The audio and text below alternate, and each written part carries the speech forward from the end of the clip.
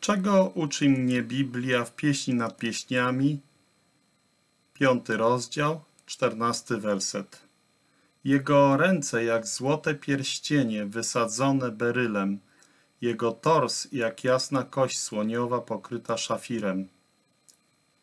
Pieśń nad pieśniami 5.14 Oblubieniec i oblubienica Jego ręce jak złote pierścienie wysadzone berylem.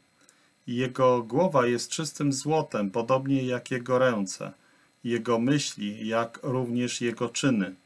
Niebiosa są dziełem jego palców, tak mówi psalm 8, werset 3. Jego ręka dotknęła ten trędowatego i stał się on czysty. Dotknął oka niewidomego, a ten mógł widzieć.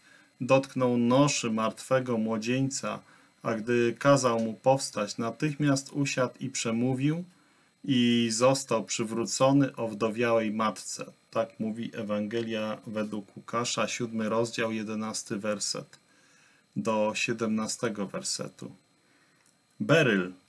Beryl dodaje piękna do tego symbolicznego obrazu i wraz ze złotem mówi o chwale i doskonałości dzieł tej cudownej osoby, naszego umiłowanego oblubieńca i Pana.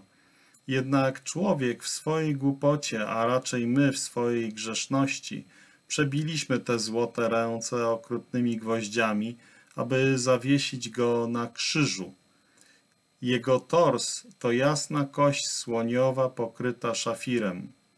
Słowo przetłumaczone w tym fragmencie jako tors jest również przetłumaczone jako wnętrzności w pieśni 5.4.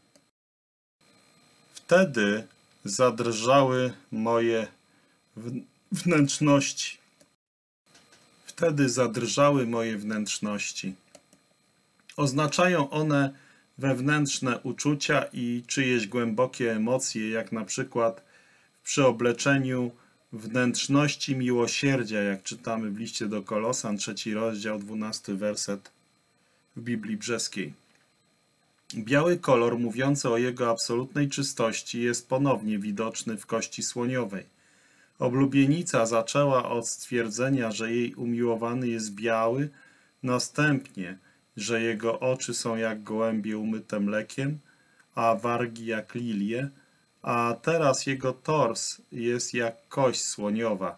Rzeczywiście on jest absolutnie święty, święty Boży który mógł rzucić wyzwanie religijnym przywódcom narodu, mówiąc, kto z was obwini mnie o grzech?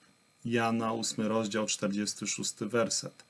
Święte współczucie było widoczne w całym jego życiu, w cudowny i chwalebny sposób, czy to wobec jego uczniów, których kochał tak, jak kochał go ojciec, czy wobec tłumów, które szły za nim, których widział jako owce bez pasterza, czy nawet wobec wrogów, który, którzy przybili go do krzyża, dla których prosił o przebaczenie.